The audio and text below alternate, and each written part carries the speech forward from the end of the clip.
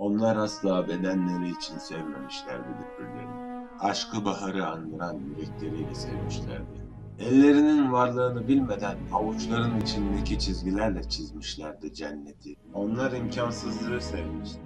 Tutkuyla sevdayla verilmişti.